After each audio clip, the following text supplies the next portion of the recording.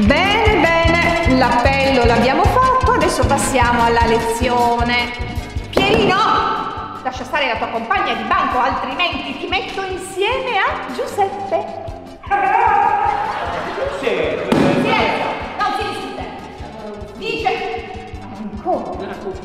Dicevo, passiamo alla spiegazione. Oggi era la giornata destinata alla letteratura, mentre io ho deciso che passiamo alla grammatica.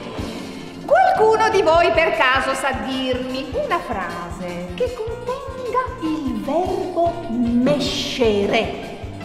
il verbo Mescere.